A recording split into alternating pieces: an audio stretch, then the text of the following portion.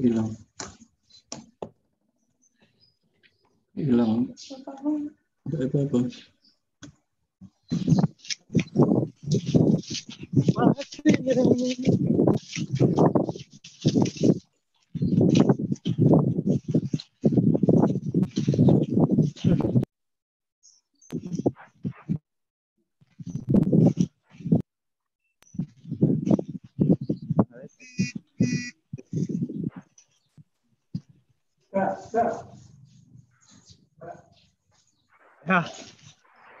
下来下来下来下来哎快点上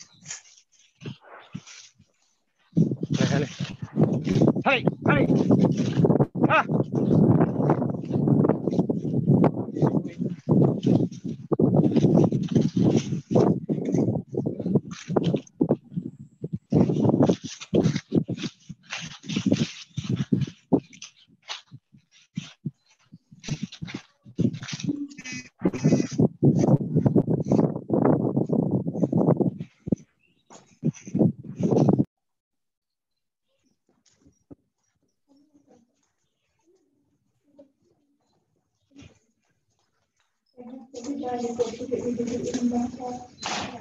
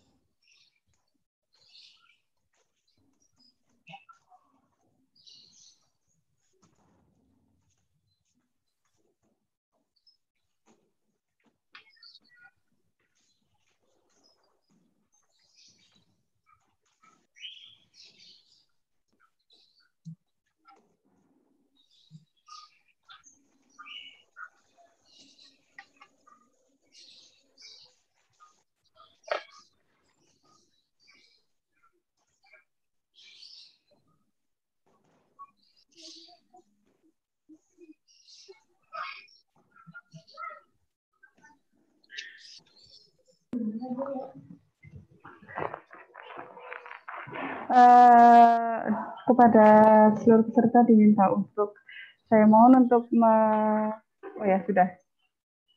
Oke. Di mute sebentar. Jadi selama webinar berlangsung mohon untuk mikrofonnya dinonaktifkan terlebih dahulu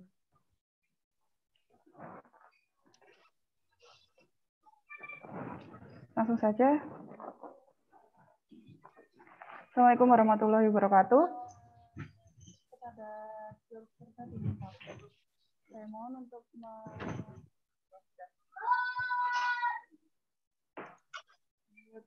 sebentar.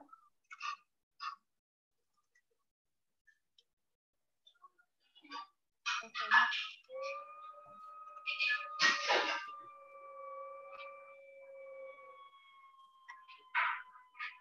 Oke.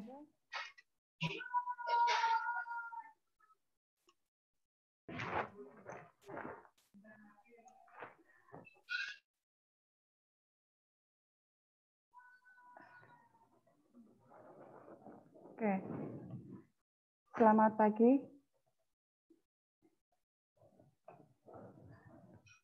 Salam sejahtera untuk kita semua.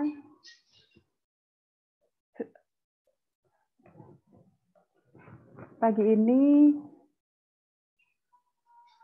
sebelum acara webinar dengan tema Terbang Tinggi bersama alumni arsitektur UEM dengan pembicara yang sudah hadir, Bapak Ibnu Ziyadi, STM HIAI, dan Bapak Noval Hanan Irianto ST,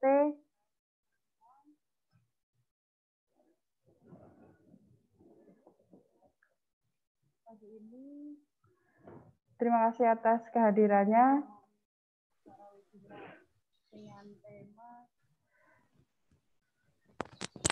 eh,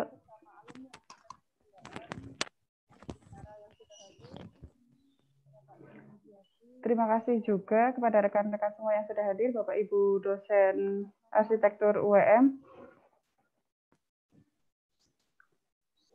Untuk acara selanjutnya akan ada sambutan dari Kaprodi Prodi Arsitek, eh, Prodi Arsitektur UEM yaitu oleh Bu Istiana Adianti.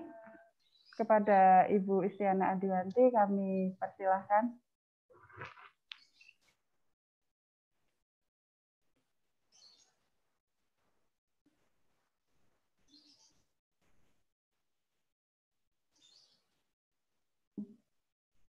Halo, selamat pagi. Udah bisa masuk ya Bu Desi? Uh, selamat pagi, Assalamualaikum warahmatullahi wabarakatuh. Salam sejahtera bagi kita semua. Terima kasih sudah datang di acara webinar ya ini kali pertama.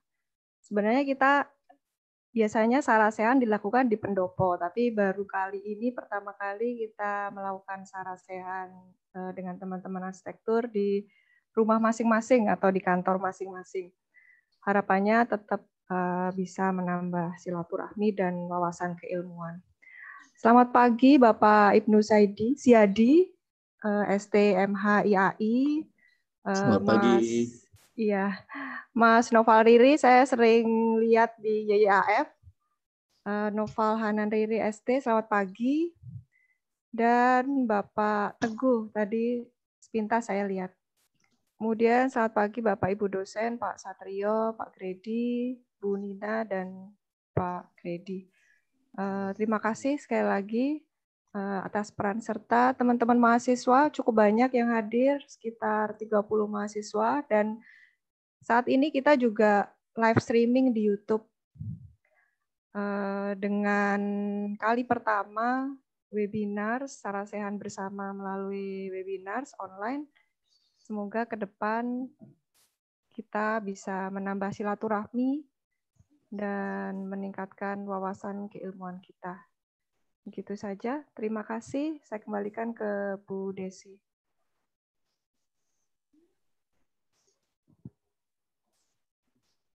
Terima kasih Bu Tina. Uh, untuk selanjutnya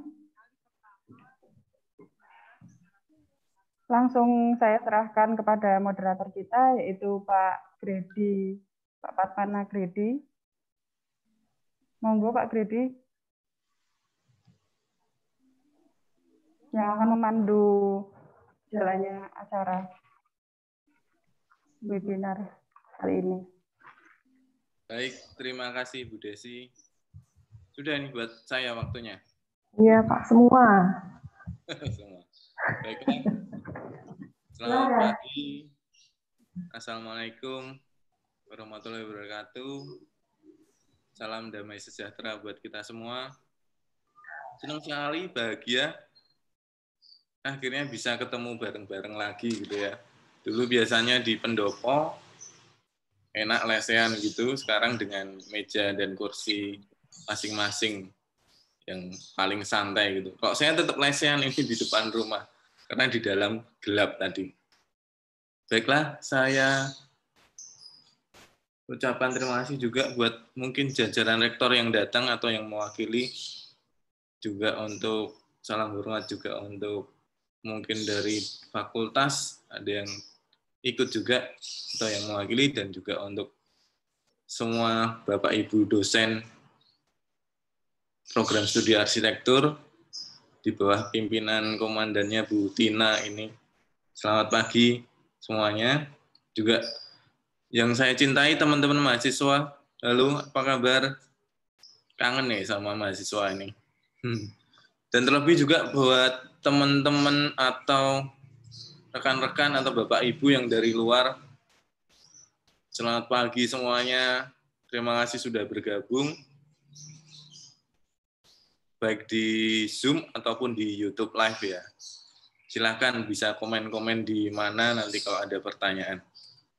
Uh, saya akan memberikan gambaran acara kita kali ini adalah jam kira-kira jam 9.10, 9 lebih 10, 9 lebih 15 kita akan mulai dengan narasumber pertama, Bapak Ibnu. Bapak Ibnu, beliau juga mantan mahasiswa arsitektur Universitas Widya Mataram yang sekarang sudah menjabat.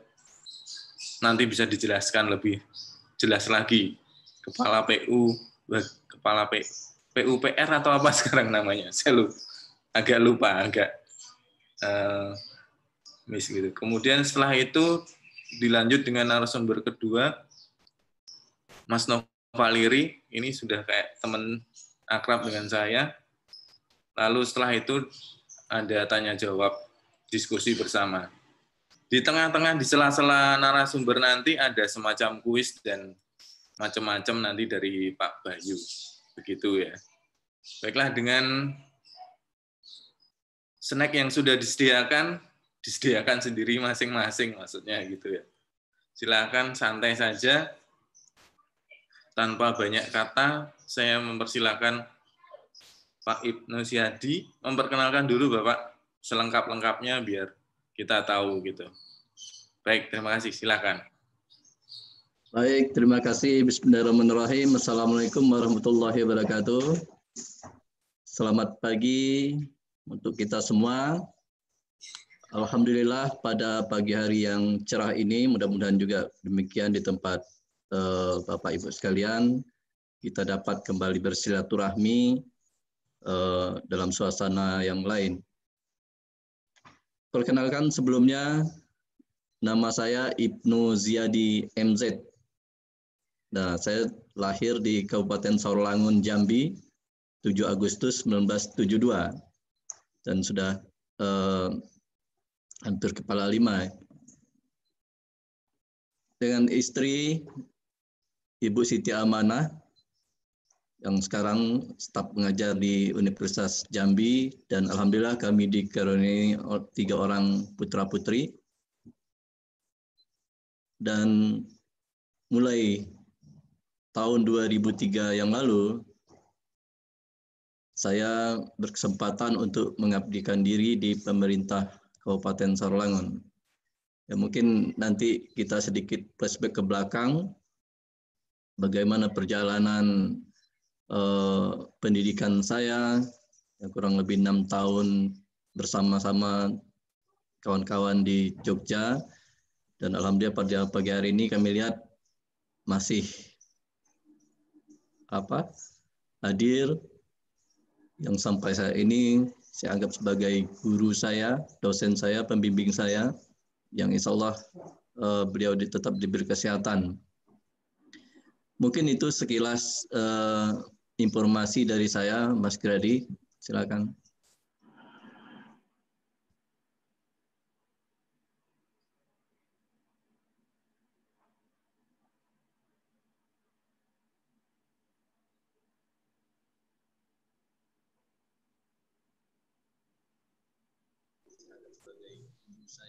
dosen saya, pembimbing saya, yang Allah uh, beliau Pak, uh, Pak Gredi masih di mute suaranya.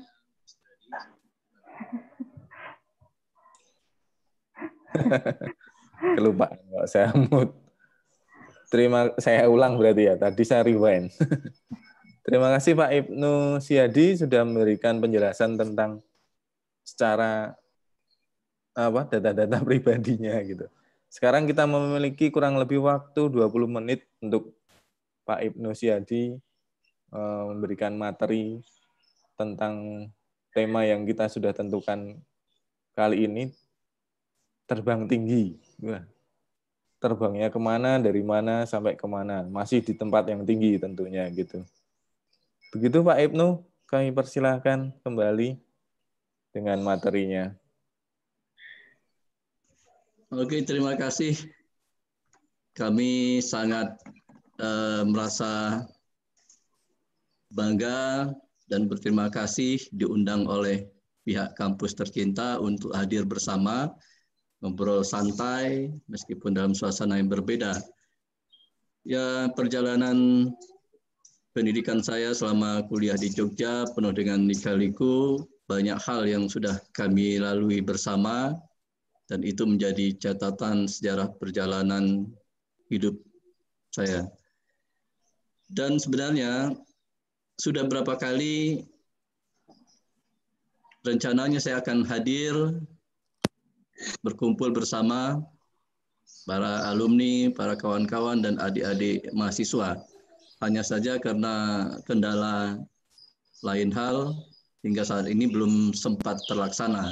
Namun keinginan dan uh, niat itu masih tetap ada. Insya Allah kalau kondisinya sudah membaik, nanti kita coba untuk menautkan kembali silaturahmi itu. Uh, Bapak Ibu sekalian serta adik-adik mahasiswa yang saya cintai, memang perjalanan pendidikan di Widya Mataram dengan segala apa fenomenanya ini luar biasa.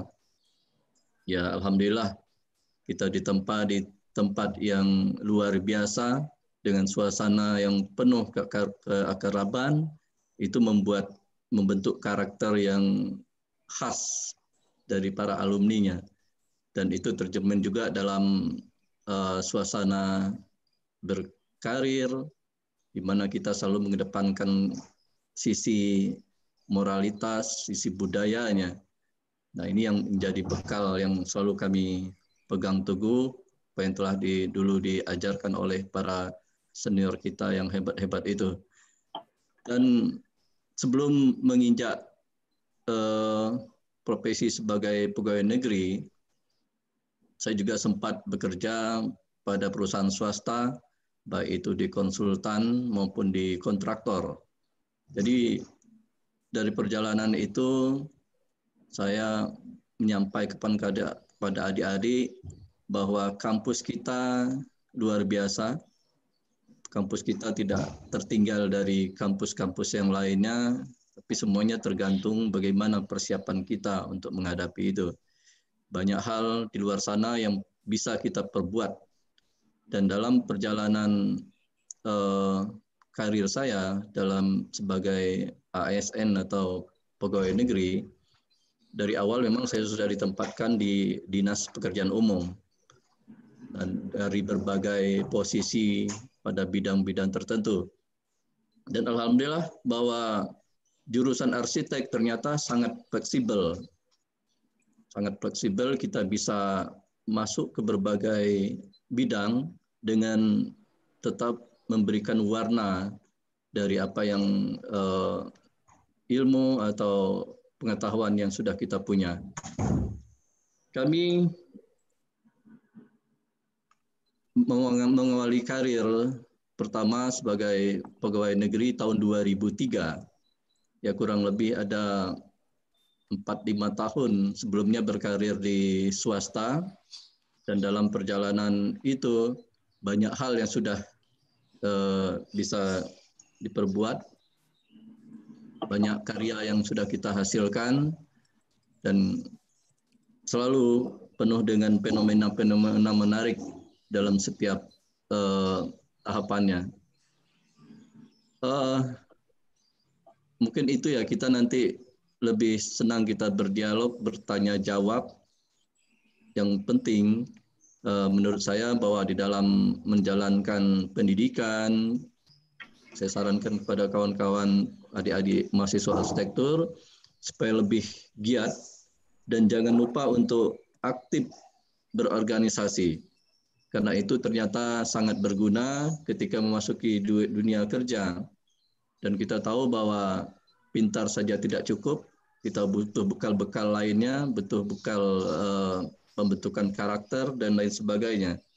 Dan saya yakin saya selalu memantau perkembangan dari kampus kita dari waktu ke waktu bahwa banyak kemajuan yang sudah diraih, dicapai, dan saya berharap juga nanti banyak alumni-alumni Widya Mataram khususnya jurusan arsitektur yang punya kesempatan, punya peluang untuk mengembangkan diri. Dan kami juga di Jambi ada beberapa orang alumni arsitektur yang sudah uh, berkiprah baik di dunia swasta sebagai konsultan maupun sebagai pegawai negeri.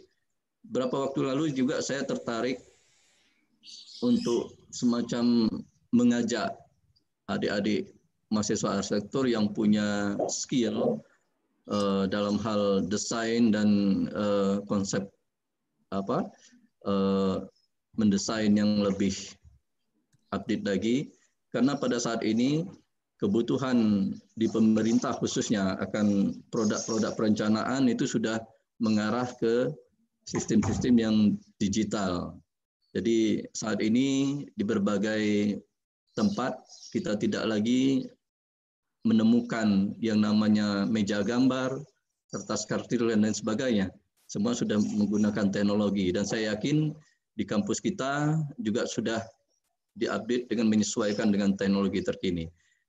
Besar harapan kami tentunya ke depan kampus kita bisa tetap melahirkan eh, alumni-alumni alumni -alumni yang hebat yang berkualitas.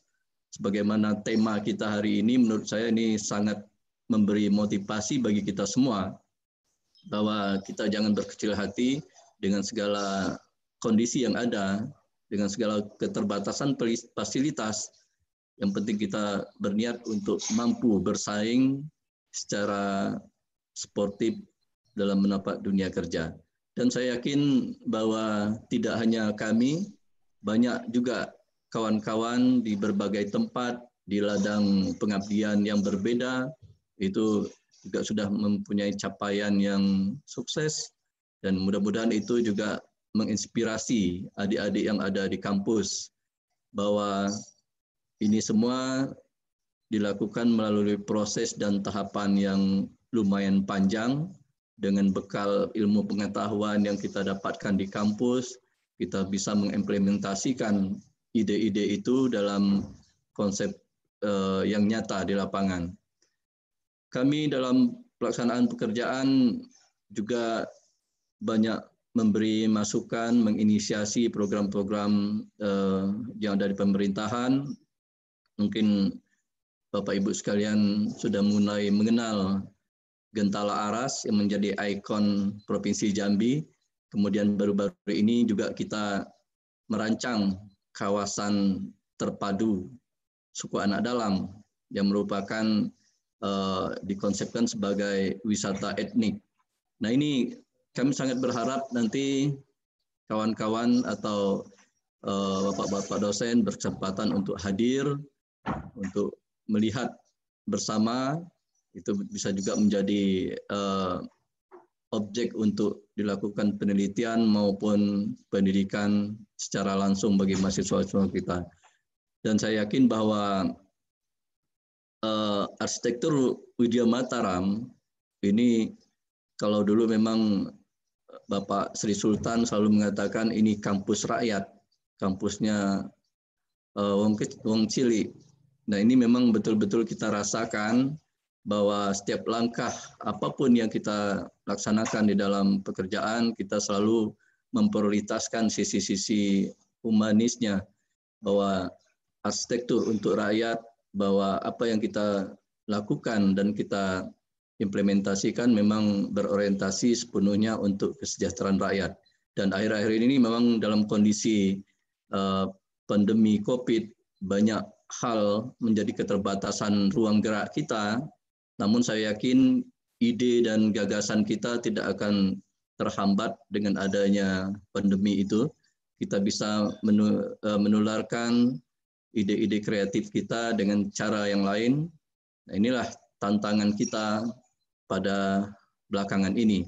Saya berharap kita semua tetap semangat, tetap berkarya, dan bekerja untuk masyarakat. Mungkin itu sekedar pendahuluan dari saya.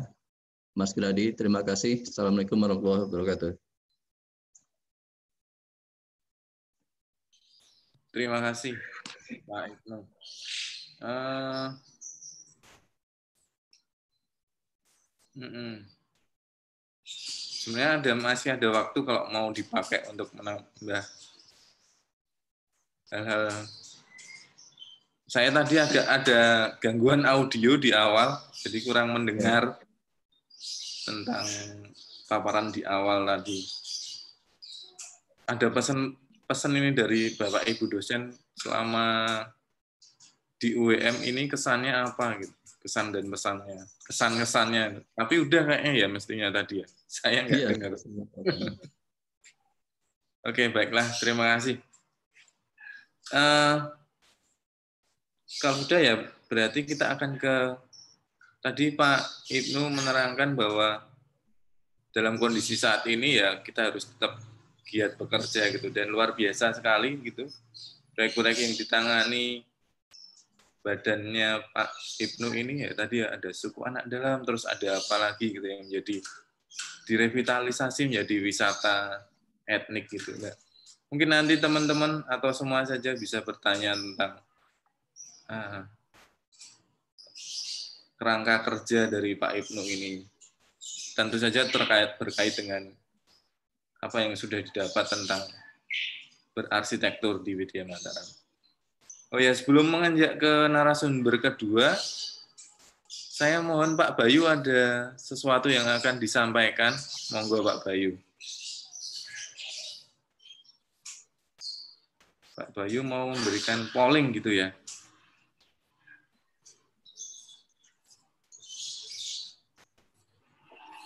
Pak Bayu, apakah sudah iya. siap, Bude? Wah, ini dia. Selamat, selamat pagi, Pak. Pagi. Selamat pagi, Pak Ibnu, Pak Gredi, dan Pak Ibu sekalian mahasiswa. Ini saya tadi baru ngobrol sama istri saya. ini saya coba untuk sedikit uh, share screen saja. Mudah-mudahan bisa, bisa enggak ya? Kalau gagal ya nanti dilanjut dengan Mas Riring ya. Sudah,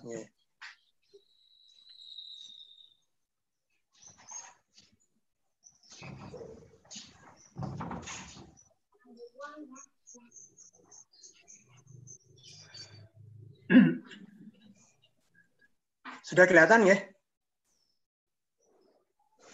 Halo, sudah kelihatan? Masih loading Pak Bayu. Nah, ini Baik untuk uh, semua peserta, baik yang sekarang ada live atau sedang uh, di YouTube, moga kita sedikit permainan. Ini ada polling, moga silakan masuk ke slido.com. Kemudian ada di situ ada kode, permintaan kode ditulis saja pendopo. Kemudian ada tanda panah, diklik. Ya.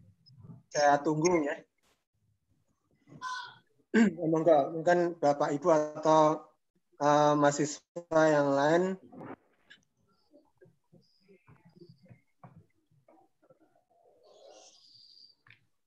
sudah? Ini kita pesertanya ada berapa? Ada 100 kurang. Oh, pakai.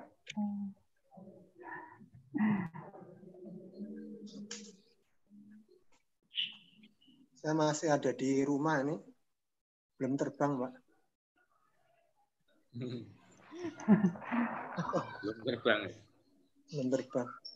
Masih nyusul. Oke, sudah masuk. Sudah? Ayo.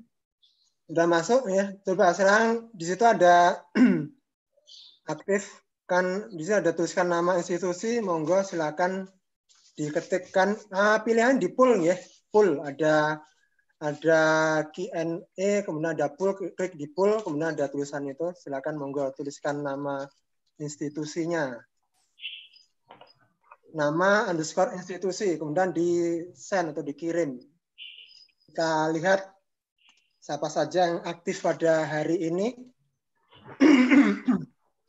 Peserta yang aktif pada hari ini kita lihat ini sudah sedikit agak mungkin presensi mungkin presensi tipis-tipis.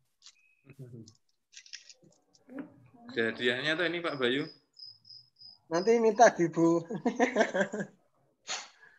Bu Tina ada mungkin. Semoga sudah. Kita tunggu ya. sudah, sudah muncul tulisan tuliskan nama institusi sudah muncul nggak? Sudah. Ya. Oke, dikirim coba. Saya coba Pak Bayu.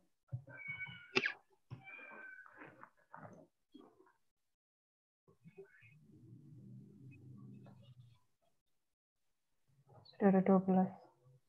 Aktifkan. Dua kali nggak apa ya.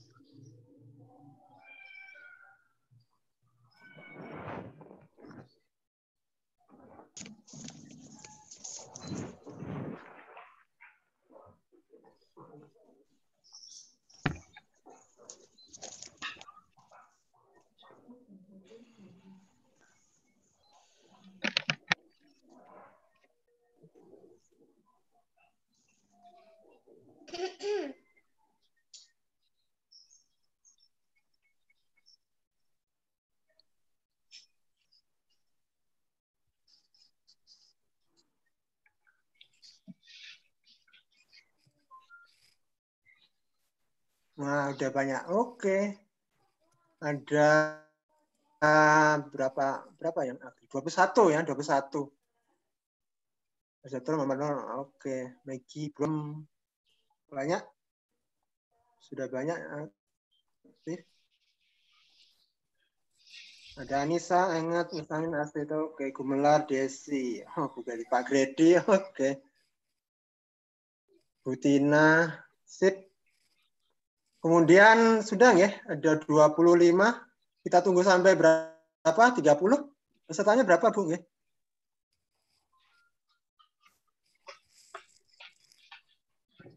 Ada 42 partisipan yang join di room saat ini, Pak Bayu. Sudah, berarti sudah lebih dari separuh ya. Oke, sekarang kita lanjut saja ya untuk mempersingkat waktu. Selama kuliah di Prodi Arsitektur UWM, apakah mata kuliah favorit Anda? Nah, ini monggo, silakan. Mata kuliah favorit Anda. Ya, kalau tidak di UWM, mungkin di tempat lain kalau ada yang kuliah tempat lain. Favoritnya apa?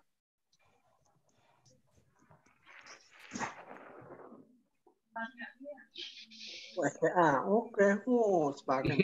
Paling banyak SPA ya, estetika, fisika bangunan. Paling banyak SPA.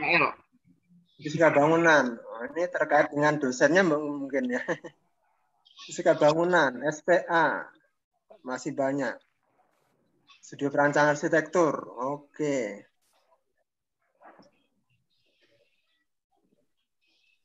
Sudah 19 orang. 19 orang. Nah ini krono ya. Beton mana loh.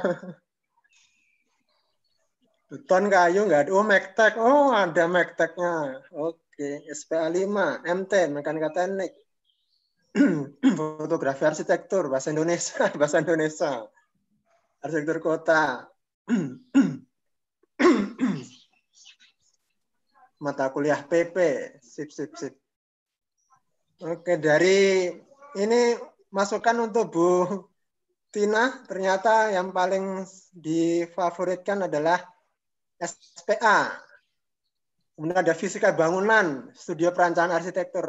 Kira-kira itu Bu tiga dua mata kuliah ini. Interior, nah, interior juga ada yang milih yang banyak. Jadi yang paling besar ini pemilihnya banyak. Fisika bangunan, SPA, nah, interior gitu ya. Mungkin terkait dengan dosernya yang cantik mungkin. Bisa ini, bisa. Bisa ya. Baik, ini sudah 27 selanjutnya nggih. Selama kuliah di prodi arsitektur UBM, apakah mata kuliah yang paling susah menurut Anda? Wah, ini Matematika. Yang paling susah menurut Anda. Satu. Matematika. Satu saja Pak, silahkan. Mekanika teknik, wah mektek, wah hebat. Makunya Pak Bayu. Teknologi beton. Mektek kayu, waduh. Ternyata mekanika teknik. Wah, merajai ya mekanika teknik ya. Ada 20 partisipan sudah mekanika teknik terfavorit. Wadah SPA juga.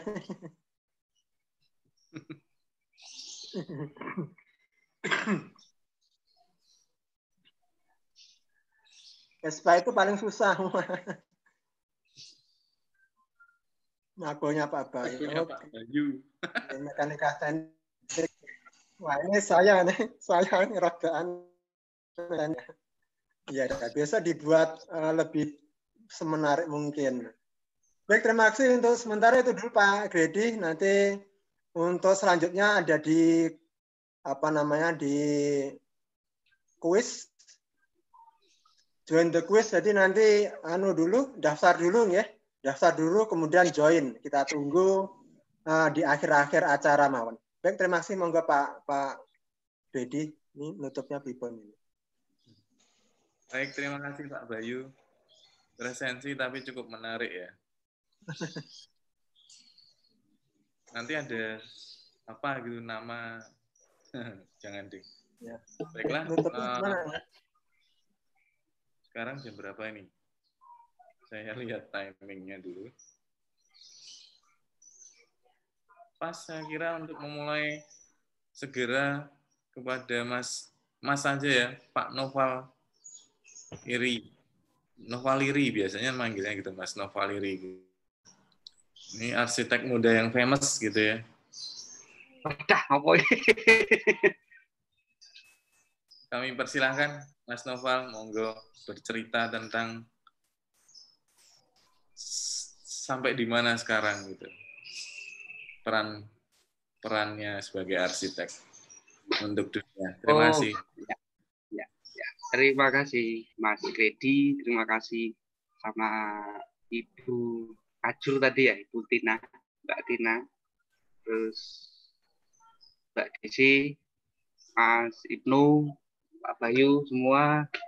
Selamat pagi, semoga selalu sehat. Eh, bercerita tentang jabatan sih sebetulnya eh, nggak cukup mungkin dalam kurun waktu apa di pertemuan ini saya untuk menceritakan dari awal karena memang di sana banyak sekali cerita-cerita yang lucu, konyol, serius dan banyak hal lah pokoknya. Cuman ya itulah namanya juga dunia waktu itu dunia mahasiswa.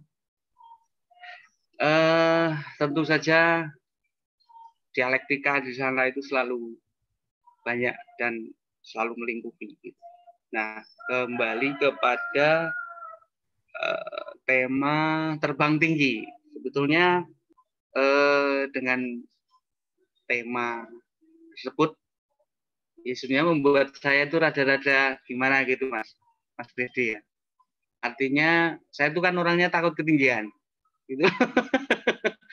Dan kan orangnya takut ketinggian, oh, tinggi itu terlalu takut. Gitu. Makanya saya ingin mencoba dalam pertemuan sesi kali ini, saya ingin memberikan sebuah satu, uh, membagikan sharing pengalaman empirik saya uh, melalui apa namanya yang sudah saya kerjakan selama ini uh, bersama studio saya dan teman-teman. Uh, saya akan mencoba untuk membagikan dengan slide.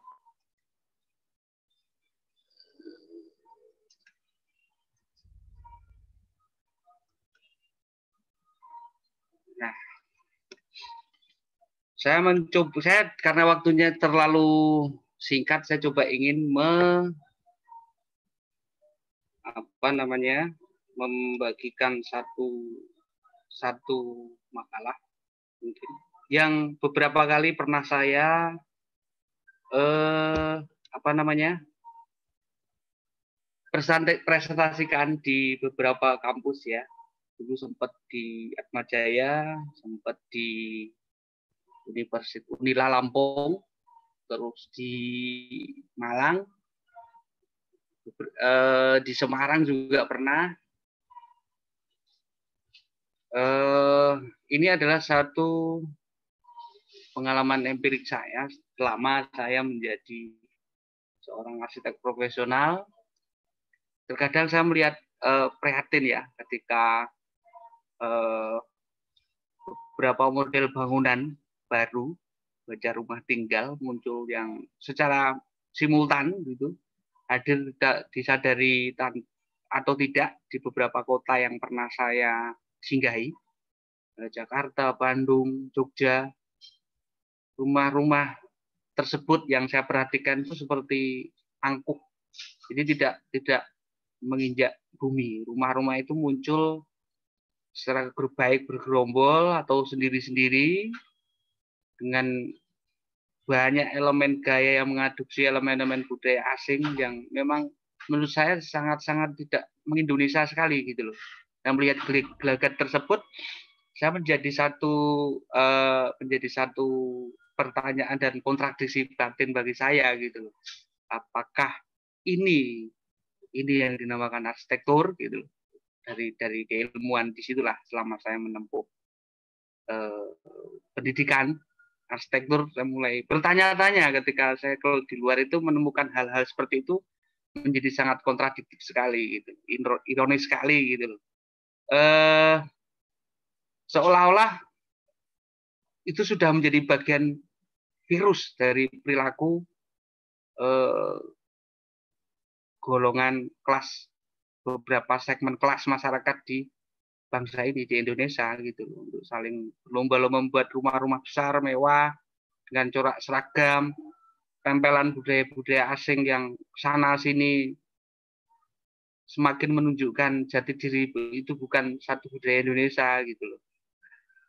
Bahkan pernah eh, di beberapa tahun lalu saya tuh melihat sebuah acara televisi gitu iseng gitu loh gak sengaja melihat. Ada satu selebritis itu diwawancarai dalam satu infotainment gitu. Dengan sombongnya itu mengatakan e, saya ingin membangun rumah saya itu seperti istana gitu loh. Klasik seperti ala ala Eropa gitu loh nah sebetulnya itu menurut saya tidak masalah bagi bagi beliau ya bagi sang selebritis untuk menentukan seperti apa produk nanti rumahnya. Cuman yang menjadi perhatian saya, permasalahannya terletak bukan kepada mampu tidaknya dia membuat rumah yang seperti keraton misalnya. Tapi justru yang menjadi perhatian saya adalah ketidakpedulian selebritis itu terhadap rumah yang benar-benar tidak tanggap terhadap lingkungan gitu. Itu yang menjadi keprihatinan saya sebagai seorang arsitek gitu Uh, kemudian uh, ini. Jadi slide slide nampak ya Mas Yas, Mas Mas Gredi ya. Uh, ini adalah beberapa dokumentasi slide rumah-rumah uh, yang seperti di Eropa. Padahal ini bukan di Eropa. Ini ada beberapa saya temukan di Jakarta, di Jogja itu ada.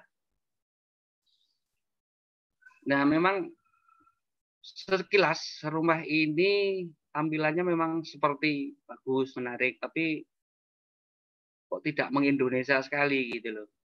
Mereka terlalu banyak mengorbankan aspek-aspek kenyamanan gitu loh bagi penghuninya gitu. Terus masuk ke slide 3.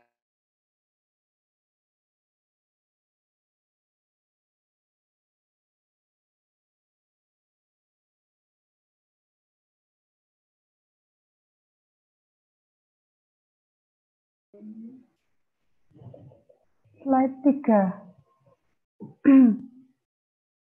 Cek.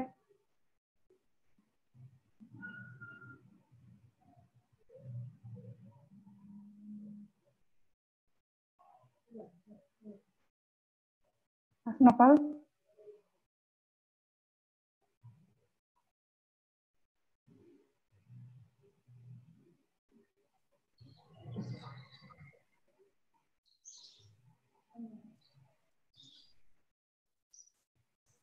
Mas Noval, apakah masih ada di ruangan?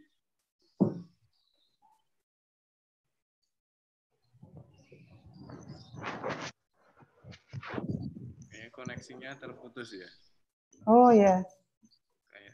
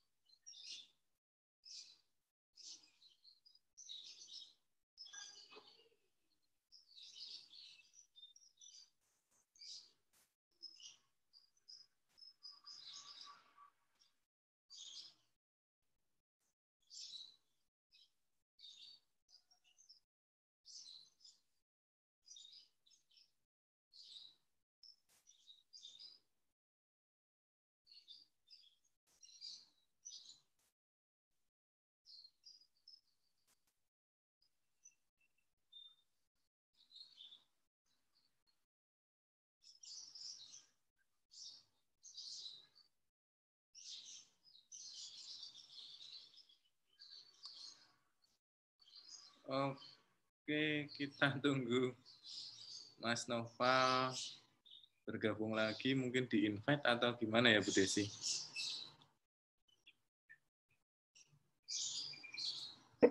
bagaimana Pak? Kelihatannya jaringannya Mas Noval ya? Oke, kita tunggu saja sambil dibaca ini oh, slide yang di-share oleh Mas Noval.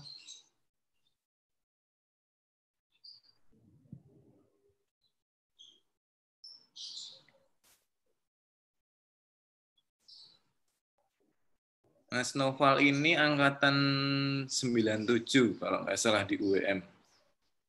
Lalu berpraktiknya memang di banyak tempat ya, antara Jogja dan Jakarta gitu ya. Di Jogja dia tinggal di Prambanan, di Prambanan dia mengelola sebuah eco homestay gitu ya di dekat Prambanan. Ya, karya-karyanya memang kalau saya lihat gitu ya, berseberangan dengan slide yang kita lihat ini sih sebenarnya. Dia yang ekologil, yang sustain terhadap alam gitu. Mungkin nanti dia akan bercerita lebih banyak. Luar biasa saya kira. Dia juga cukup aktif diskusi-diskusi nasional dengan arsitek-arsitek terkemuka lainnya gitu karena berada di Jakarta gitu, jadi bisa berkomunitas langsung dengan mereka. Ada using dan lain-lainnya. Kalau yang di Jogja mungkin bisa nanti kita minta Mas Noval bisa sudah bergabung? Belum ya, belum ya. Belum. Untuk kita bisa main ke sana gitu ya. Dia juga punya nanti bisa mendatangkan sepeda banyak terus nanti kita trip pakai sepeda dari homestay-nya ke Prambanan ke Candi Boko dan sebagainya di sekitarnya. Uh, mungkin Pak Gridi, jika Ya. ada tanya jawab sambil menunggu Mas Noval, tanya jawab kepada Pak Ibnu mungkin bisa Ya. dimulai sekarang sambil Ya. menunggu atau kuis lanjut kuis tadi. Sambil saya menyiapkan ada beberapa Oh iya. materi. Em, terima kasih, monggo. Waktu ini saya persilahkan. Ada yang ingin bertanya tentang pengalaman Pak Ibnu memimpin lembaga. Boleh saya tanya? Oke, dipersilahkan. Diper Ya. memperkenalkan dulu Terima- siapa. Oh, nama saya nggak kelihatan ya. Saya Dani dari dosen Visipol. Oh, Pak Dani. Selamat pagi, Pak Dani. Selamat pagi. Selamat pagi, Mas Ibnu. Lama nggak ketemu. Mas Novel juga dan para ibu bapak dosen moderator. Pertanyaan saya sederhana ini kepada Mas Ibnu dan eh, Mas Novel juga.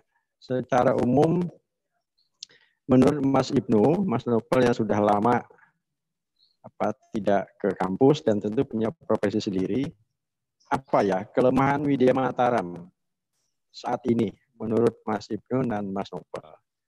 Saya pengen tahu, pengen dengar. Dan kemudian juga yang kedua, eh, menurut cara pandang Mas Ibnu, Mas Novel, apa sih tantangannya gitu bagi Widya Mataram secara umum? Tapi boleh juga mau secara khusus tentang arsitek ya. Tapi mungkin eh, saya lebih ingin mendengar secara umum tadi. Jadi apa tantangannya, tantangan Widya Mataram, dan apa kelemahan Widya Mataram? Itu saja mungkin Pak Moderator secara sederhana. Terima kasih. Assalamualaikum warahmatullahi wabarakatuh. Terima kasih, Prof. Dani. Belum, Prof. Pak Dokter maksudnya. Amin. Ya. Nah, terima kasih. Mungkin langsung ditanggapi saja oleh Pak Ibnu. Saya persilahkan. Baik. Uh, kelemahan dan tantangannya. Iya. Assalamualaikum Bang Dani. Lama juga nggak ketemu sama Bang Dani. Ya, tapi kami tetap memantau di Waalaikumsalam. Ya. Bang Dani tetap aktif di medsos yang kita pantau terus perkembangan ininya. Uh, terhadap pertanyaan yang Bang yang saya panggil Abang karena dulu waktu kita aktivis di kampus beliau sangat dekat dengan para mahasiswa sehingga jarak antara dosen sama mahasiswa itu sangat akrab lah. Sehingga kami sampai sekarang terbiasa memanggil beliau dengan abang bang Dani uh, baik bang.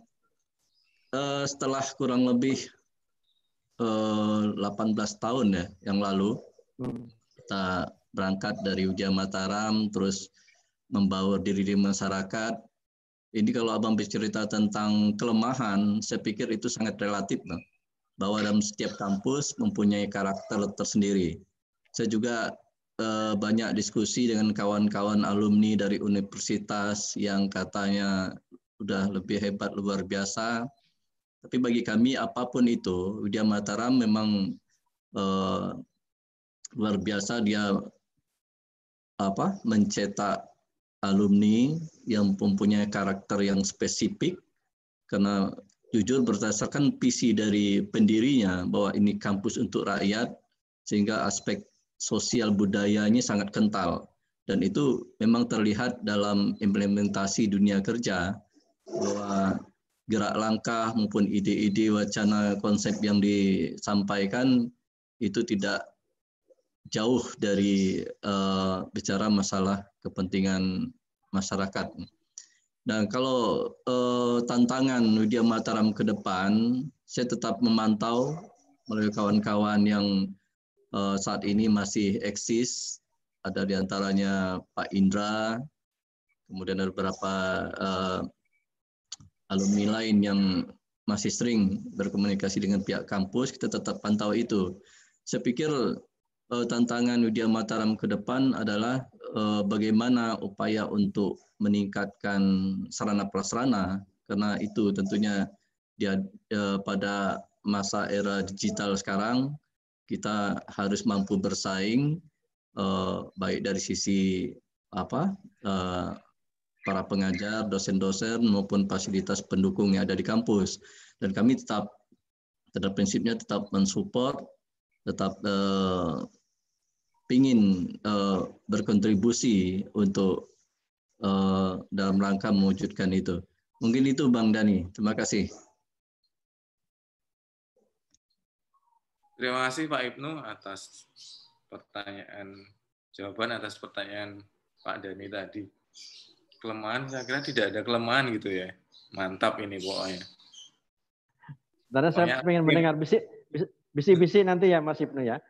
Karena gini, sorry, jadi eh, dua pertanyaan tadi itu penting bagi kami untuk mengambil kebijakan apa yang kami lakukan, perencanaan apa yang kami lakukan itu penting. Jadi Tapi mungkin artinya bukan ini dalam pengertian sinistik ya untuk mengetahui kelemahan, tapi justru sangat penting ya bagi alumni, apalagi khususnya untuk melihat dua hal tadi dan itu menjadi penting bagi kami tadi sekali lagi kebijakan apa lalu yang harus kami buat, perencanaan apa yang harus kami buat. Itu tadi. Kalau tidak kan kami ini hanya asik di dalam aja mungkin tidak tidak begitu apa harus paham lah juga bagaimana cara pandang dari alumni yang di uh, luar. Tapi nampaknya karena saking sayangnya, hormatnya Mas Ibnu dengan kampus tidak mau bilang kelemahannya. Baik, yeah, Mas sudah sebenarnya tersirat tadi di tantangannya, tapi nanti diteruskan nanti ini Mas yeah, Noval udah yeah. masuk lagi. Kita yeah. teruskan Mas Noval yang sudah terpotong tadi, terputus. Iya, maaf tadi karena ada gangguan sedikit gangguan di trouble di internet saya di speednya nggak tahu kok tahu-tahu mati sendiri makanya langsung hilang lah Oke, kemudian saya masih akan melanjut tentang eh, keprihatinan terhadap model rumah di Indonesia. Nah, ini yang slide kedua. Ini adalah beberapa dokumentasi yang saya temukan di beberapa kota-kota perjalanan di Indonesia di kota-kota eh, besar di Indonesia, Jakarta, baik di Jakarta, di Jogja, di Bandung.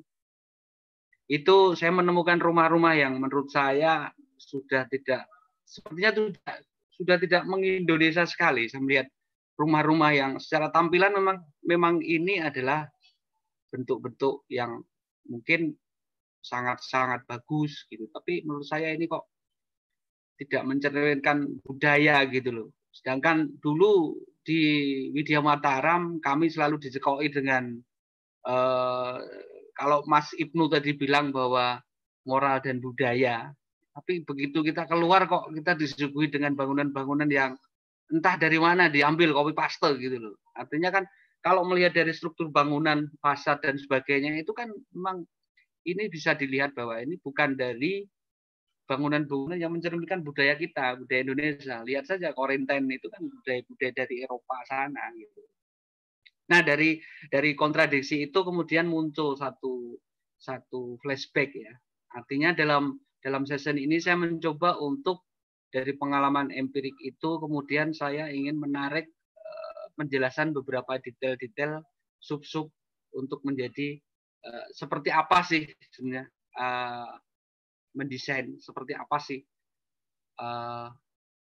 untuk menemukan kenyamanan ideal sehat gitu loh bagi penghuni gitu. Nah, masuk yang kedua dari melihat uh, fenomena rumah-rumah tadi, uh, saya jadi teringat apa sih itu rumah. Gitu. Kalau dulu dalam se sebelum uh, kita banyak belajar di arsitektur ya, kita kan selalu melihat bahwa rumah itu tempat untuk berlindung dari karena faktor-faktor alam dan sebagainya.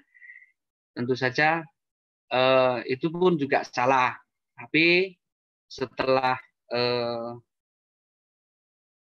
banyak mendukuni di dalam dunia arsitektur, kemudian saya menemukan sosok satu arsitek dari Inggris yang ke, dulu saya pernah ada bukunya dan pernah membaca-baca bikin satu beberapa urean-urean dari bukunya, tulisan-tulisannya, yaitu David Person yang bukunya berjudul The New Natural House Book dari United Kingdom ya. Kebetulan saya dapat buku itu dari seorang kawan saya yang di Inggris. Itu dia mengatakan rumah itu harus mampu menumbuhkan spirit bagi para penghuni di dalamnya. Nah, tentunya sangat kontradiktif sekali ketika rumah yang hanya uh, melindungi diri dari faktor-faktor alam. Tapi di sini si David Person ini mengatakan bahwa rumah itu harus mampu menumbuhkan spirit gitu loh bagi para penghuni di dalamnya. Nah, dari dari, dari tahapan itu eh, tentu saja rumah harus mampu memberikan satu rasa nyaman, terus rasa betah untuk ditinggali kalau di istilah orang Jawa, mbah-mbah nenek moyang kita dulu itu ada istilah omah, terus omah-omah, omah. Nah, itu itu itu sangat sangat ini sekali ya, dalam sekali gitu. Terus kemudian menginjak slide. Nah, ini saya ingin menjelaskan dari runtutan si David Person itu memang sangat berat ketika rumah-rumah eh, apa yang di, diutarakan dalam bukunya si David Persen itu memang sangat susah ya, sangat eh, berat untuk diaplikasikan. Tapi sebelum ke melangkah ke sana, memang harus ada eh, diuraikan dulu faktor-faktornya itu bisa kita bisa menguraikan faktor-faktor apa saja yang nanti bisa membuat satu desain bangunan atau rumah itu menjadi sehat, lebih sehat dan lebih uh, spesifik dari dari uh, statementnya di bukunya si David Person. Nah ini ini adalah cerita bagaimana nenek moyang kita dulu membangun rumah itu banyak berdasarkan insting kan.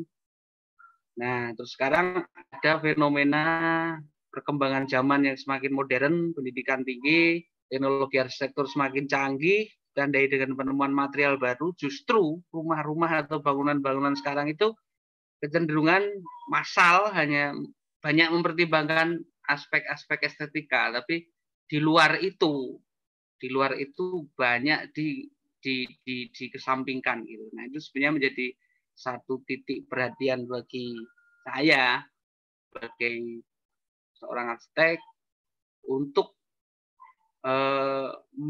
mereskenario ulang. Seperti apa sih? Apakah seperti itu arsitektur gitu? Apakah hanya sebatas sampai di situ arsitektur gitu? Makanya uh, saya dan teman-teman di studio itu ingin membuat satu satu apa ya dalam setiap karya project desain ingin menciptakan sesuatu yang yang mempunyai mempunyai uh, hal yang berbeda. Karena uh, saya mencoba untuk uh, merealkan merealisasikan apa-apa ide yang yang sebetulnya sebetulnya David Person itu menjadi inspirasi saya dan teman-teman gitu loh. Nah ini aspek apa saja yang kemudian uh, akan diterapkan jika nanti dalam desain itu kenyamanan, kesehatan, terus pendekatannya juga secara alamiah ya.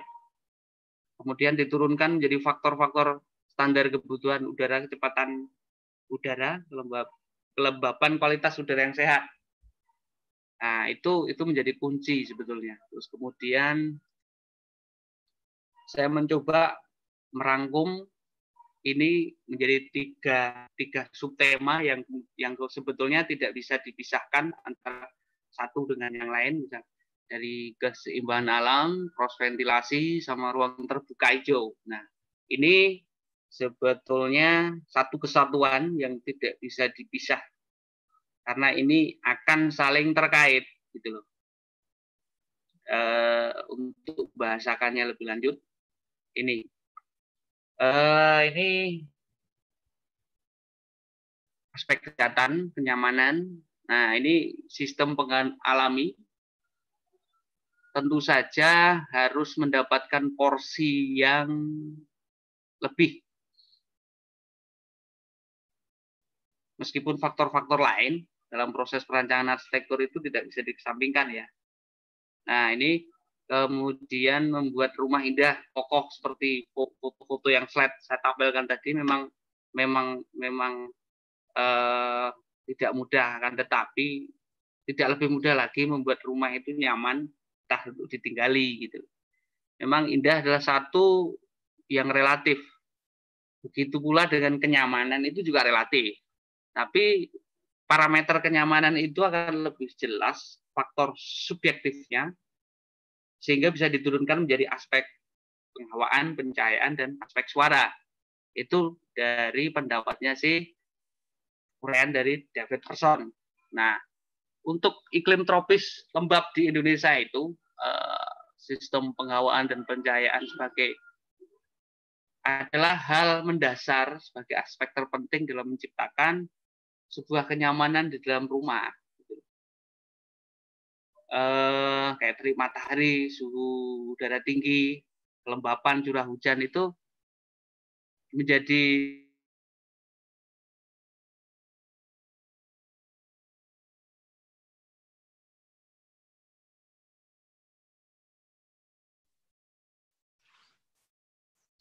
Kayaknya koneksi terganggu ya.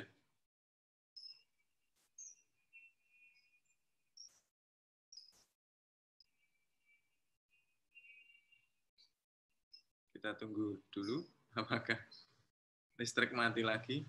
Halo Mas Noval. Halo.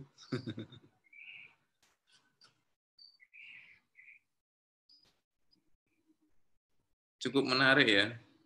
Walau sebenarnya banyak tulisan saja ini kalau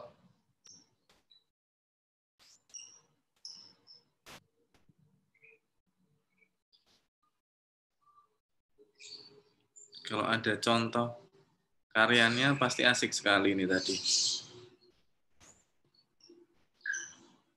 Nanti kita tanyakan Mas Noval. Mas Noval, karyanya di mana? Uh, sambil menunggu lagi, ini tadi ada pertanyaan dari Astria. Halo Astria, di mana? Sehat-sehat? Ada pertanyaan untuk Pak Ibnu.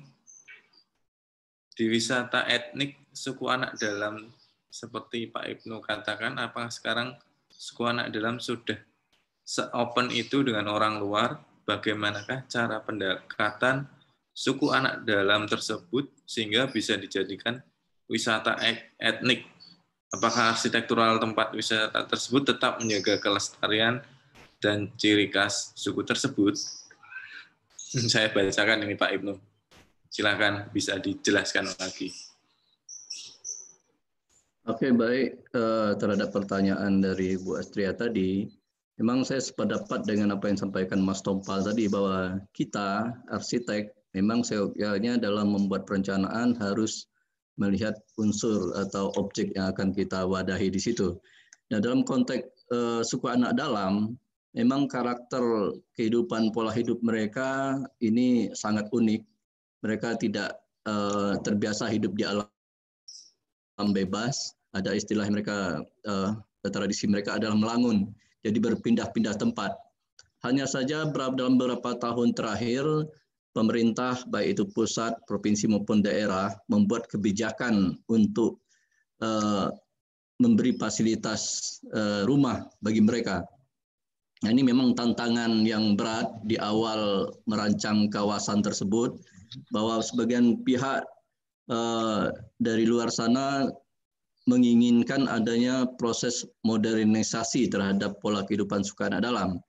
Hanya saja kami waktu itu apa uh, berdiskusi bertanya langsung dengan uh, warga suku anak dalam kami tanyakan tentang seperti apa rumah yang beliau inginkan karena banyak contoh sebelumnya rumah mereka dibangun tapi tidak dihuni karena tidak sesuai dengan karakter dan perilaku kehidupan mereka. Nah, dalam kawasan yang kurang lebih 10 hektar ya kita beranjak dari konsep uh, kehidupan mereka yang mengelompok. Nah, kesulitan kita memang ada pada hal eh, dalam hal memberikan ciri khas terhadap rumah mereka. Beda mungkin dengan kehidupan suku Asmat atau suku Dayak di Kalimantan. Mereka kaya dengan ornamen-ornamen uh, identitasnya. Dan suku anak dalam karena mereka hidup berpindah-pindah yang selama ini hidup berumah itu namanya sudung gitu. Rumah di atap tenda atau daun-daun uh, dedaunan di hutan. Kemudian bagaimana kita merumahkan mereka? Ini tantangan uh, yang kami hadapi sebelumnya.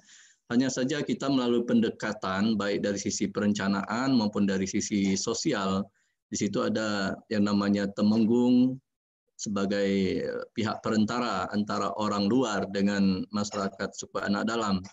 Memang kita perlu proses ya untuk menjadikan kawasan itu menjadi wisata etnik karena Jambi khususnya apalagi Kabupaten Sarolangun ini belum mempunyai objek wisata yang spesifik. Saya pikir momentum uh, kunjungan Presiden Jokowi berapa tahun yang lalu ini menjadi titik tolak untuk menjadikan itu sebagai kawasan yang mempunyai karakteristik tersendiri dan upaya-upaya itu memang masih dalam uh, proses. Makanya tadi kami sangat berharap jika mungkin dari pihak kampus kita ada wacana untuk menjadikan ini menjadi objek studi. Karena saya tahu dan saya masih ingat pada tahun 90-an yang lalu uh, Mas Slamet dan kawan-kawan berhasil menjadi juara satu nasional untuk uh, perencanaan perumahan uh, suku Dani di Irian kalau tidak salah. Nah ini menjadi menjadi apa inspirasi bagi saya juga untuk merancang kawasan suku anak dalam menjadi sebuah komunitas yang yang kekinian dengan tetap berpijak dengan budaya mereka. Kita juga tahu salah satu uh, hasil desain yang fenomenal itu ada yang apa uh, kawasan pemukiman uh, di Kalimantan di Sulawesi Tenggara kalau tidak salah. Nah, ini menjadi referensi-referensi yang saya ambil untuk uh, dalam hal perencanaan kawasan suku anak dalam. Untuk itu kami memang sangat membuka diri untuk menerima masukan, saran dari berbagai pihak sehingga menjadikan kawasan ini menjadi uh, lokasi wisata etnik Nusantara. Mungkin itu, Mas.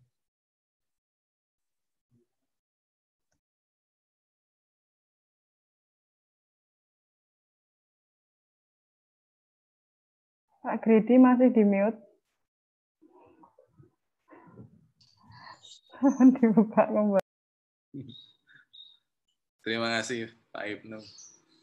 Menarik sekali mungkin nanti bisa menjadi di mata kuliah apa gitu. Tapi ya kapan bisa ke sana ya?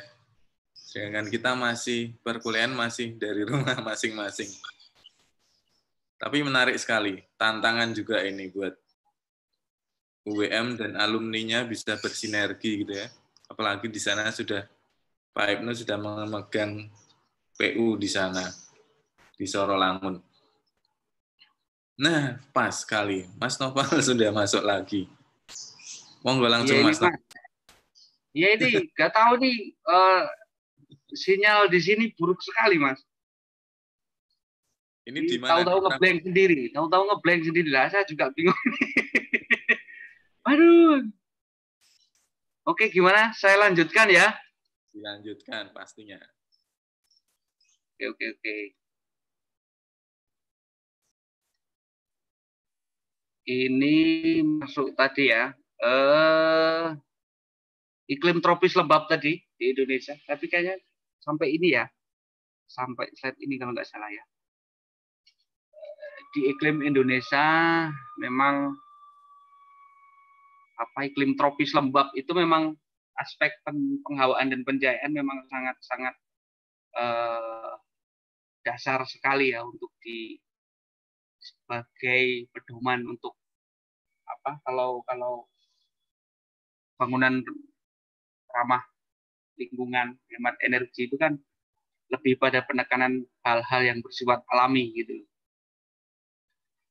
Uh, dari dua aspek itu sebetulnya memaksa desain-desain rumah yang ada di iklim tropis lembab itu untuk eh, apa namanya lebih pada menekankan ke aspek itu daripada berbeda tentu saja outputnya akan berbeda dengan desain-desain rumah yang mempunyai banyak iklim gitu. hal hal hal tersebut juga pernah saya dengar di beberapa seminarnya Prof. Joseph Priotomo.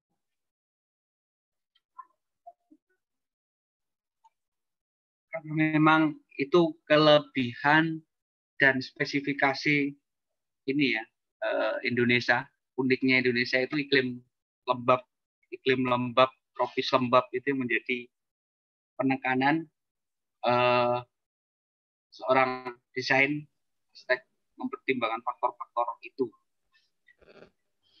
Nah, ini kali ini saya mencoba untuk merangkum untuk menjadi rumah yang tanggap lingkungan. Itu jelas sudah biasa katakan dia tadi bahwa mengadopsi tantangan iklim mikro makro dan keunikan tiap-tiap lokasinya itu akan membuat rumah itu menjadi berbeda-beda. Jadi tidak, tidak seragam gitu. Jadi tidak seragam. Oh ini tipe modern klasik, ini tipe mediteran misalkan. Itu sangat kontradiktif sekali. Sedangkan di iklim di Indonesia itu mengharuskan uh, keunikan mikro dan keunikan setiap-tiap lokasi itu mengharuskan desain itu tidak harus sama. Tidak itu desain itu harus berbeda gitu. Karena memang di sana itu eh, baik kebutuhan kebutuhan apa eh, penghuninya itu akan berbeda-beda gitu. Nah itu sampul simpul ideal yang yang yang sebetulnya ingin saya tekankan itu pada bukan pada rumah yang berseragam, tampilannya sama dari fasad, layout ataupun detail-detail arsitekturnya, tapi uh, karena keunikan keunikan di tiap-tiap site, di tiap-tiap uh, apa lingkungan mikronya itu akan menentukan uh, ketidakseragaman atau atau uh, desain itu akan mempunyai satu satu satu yang yang apa namanya yang menjadi satu kas itu terus kemudian saya menurunkannya untuk bagaimana menciptakan eh, penghawaan alam itu dengan sistem pos ventilasi.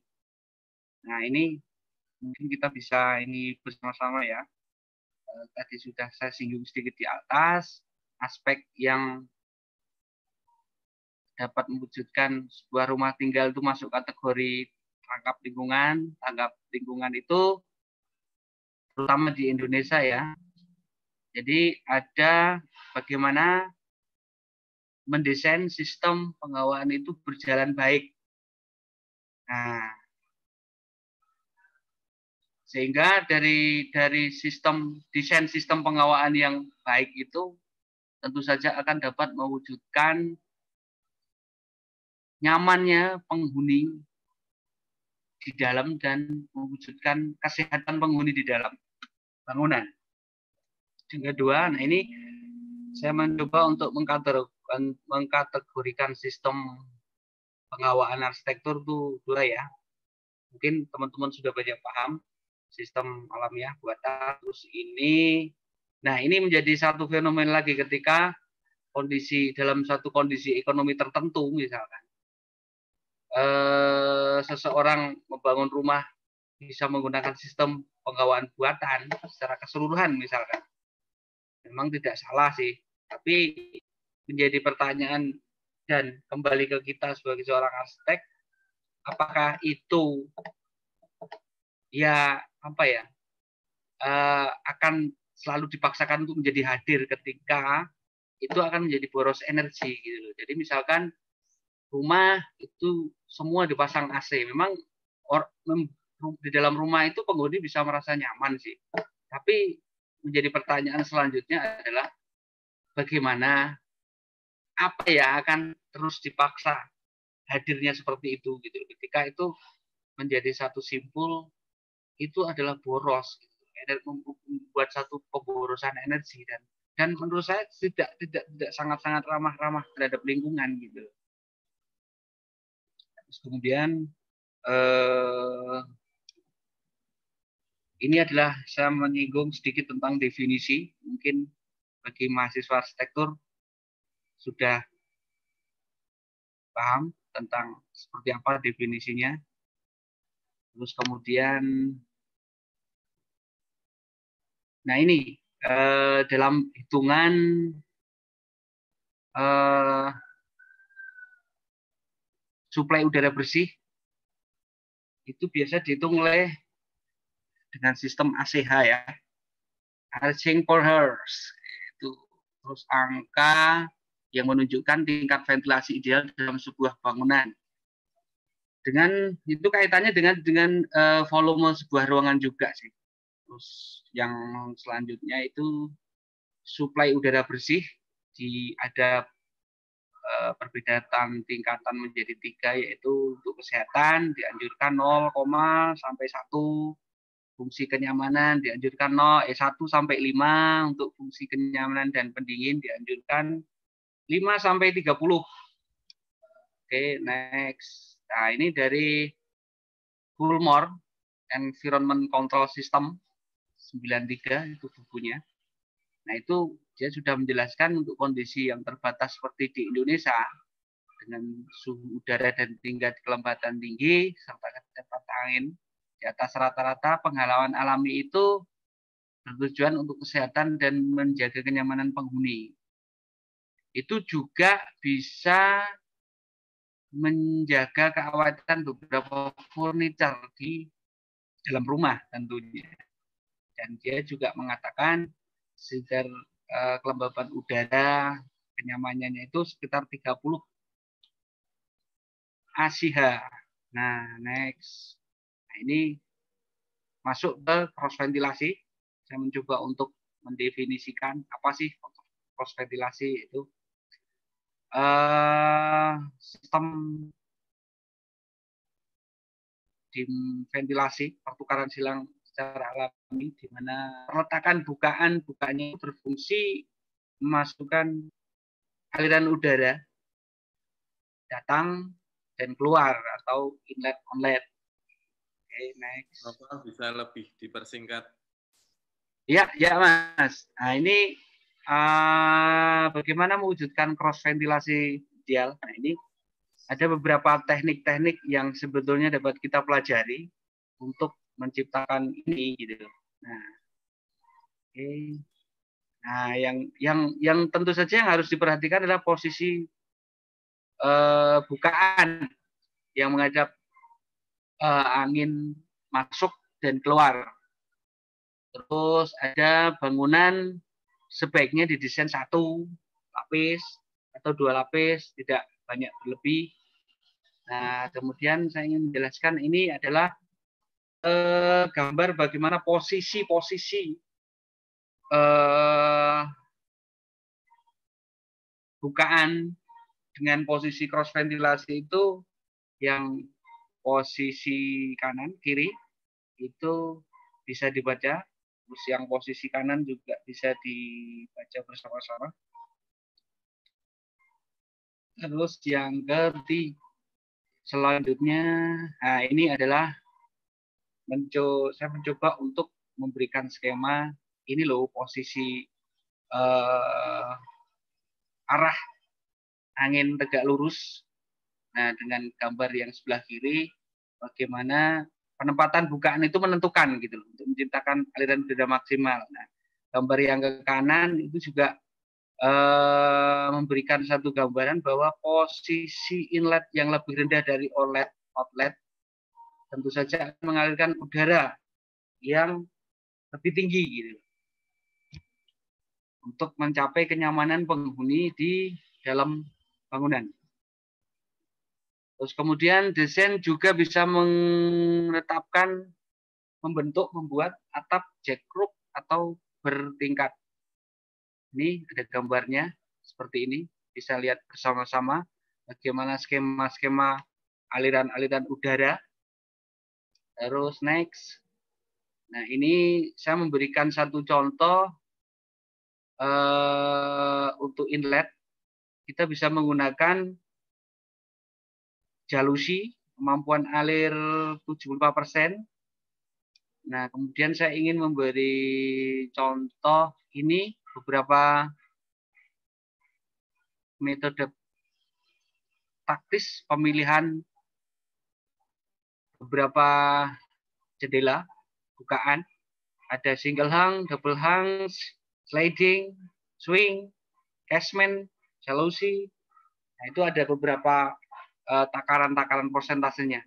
Next, nah ini kemudian di session ini menjelaskan, saya ingin menjelaskan tentang cross ventilasi dalam kondisi yang terbatas itu bagaimana. Mungkin uh, bagi banyak seorang perancang atau arsitek itu selalu uh, ber apa ya, wah bertanya gitu, bagaimana sih apa ya bisa mungkin menciptakan suatu desain bangunan yang tanahnya sempit tapi menyisakan banyak uh, apa uh, menciptakan sebuah satu sistem cross ventilasi yang ideal untuk iklim di desa. Nah, ini saya saya akan mencoba untuk mengurai gitu.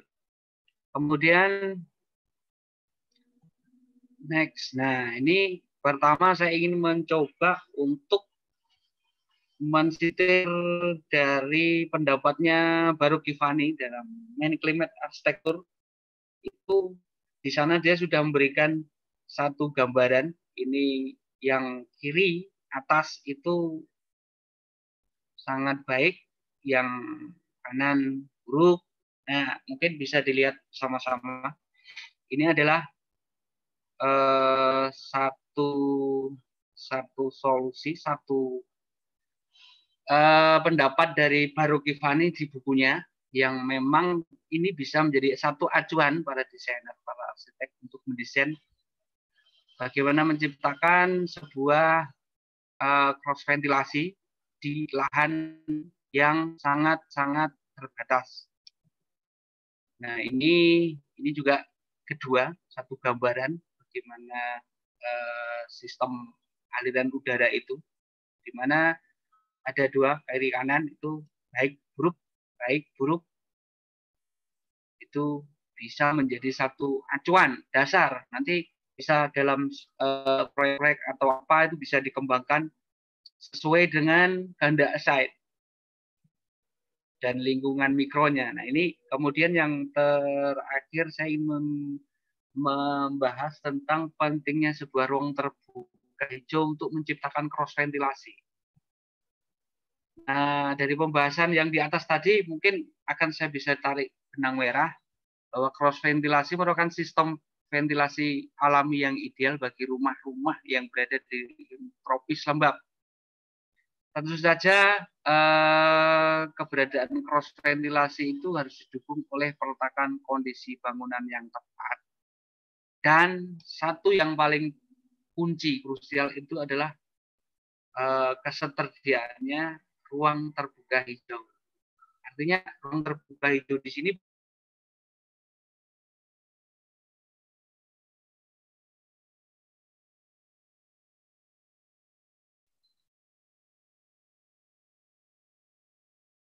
kayaknya error lagi nih. uh, ada beberapa pertanyaan tadi untuk Pak Noval dari Rizky Mukti, saya bacakan aja. Bagaimana cara menyadarkan masyarakat? Mana tadi bilang? Bagaimana cara menyadarkan masyarakat terhadap pentingnya arsitektur tradisional Indonesia dan apakah peran arsitek terhadap hilangnya kekayaan arsitektur tradisional Indonesia. Tapi sayang Mas Noval terputus. Kita saya tawarkan ada yang langsung bertanya dengan narasumber Pak Ibnu. Saya persilahkan. Sebelum nanti ke pertanyaan dari Pak Satrio ini, kita bacakan. Pak Teguh mungkin saya persilakan Pak Teguh. Saya Pak Gredi. Iya, ini kalau di Batam ini malah suku anak laut ini. Jadi lain kalau ya di sini karena kepulauan ya ini mungkin Bang Ibnu di sana suku anak dalam. Saya eh, belum pernah ke Jambi nih, jadi belum melihat kalau Mas Nopal ada foto-foto rumah adat suku anak dalam mungkin bisa dibahas juga. Jadi kalau kalau kami suku di sini yang suku anak laut ini di atas sampan hidupnya. Tapi kalau yang ke Riau Daratan sama Tanjung, rumah panggung. Jadi kami belum bisa melihat ada kesamaan-kesamaan arsitek bentukan arsitektur nggak ini? Mungkin kalau antara eh, kegiatan si penghuni bentuk-bentuk rumah suku adat terdahulu. Mungkin saya perlu sedikit penjelasan apa Bang Ibnu mungkin cerita tentang literatur sedikit suku amat dalam itu kegiatannya apa terus apa karakteristik tipologi bentukan-bentukan arsitektur dari sebelum sampai menjadi berkembang itu ada nggak perubahan-perubahan bentukannya apa mengikuti musim atau dan lain-lain? Mungkin dari Bang Ibnu mungkin kami perlu dengar sedikit izin Bang Ya, persilahkan langsung Pak Ibnu. Ya, terima kasih uh, Mas Teguh. Ya memang kita sebenarnya bertetangga cuma belum sempat bertemu. Jadi kalau suku anak dalam, kalau di Jambi ini ada sebutannya suku kubu, ya suku anak dalam, orang rimba dan lain sebagainya. Memang kehidupan mereka mempunyai karakteristik yang unik. Ya mereka memang uh, pola hidup melangun berpindah-pindah dari satu lokasi ke lokasi yang lain. Dalam kehidupan berarsitektur mereka sebenarnya lebih menyatu ke alam. Makanya ketika ada program dari pemerintah yang sudah-sudah uh, cenderung dalam tanda kutip tidak terkawal secara konsep desain yang pas ini terbukti bahwa banyak Eh, bangunan-bangunan yang sudah diprogramkan oleh pemerintah tidak dihuni oleh mereka.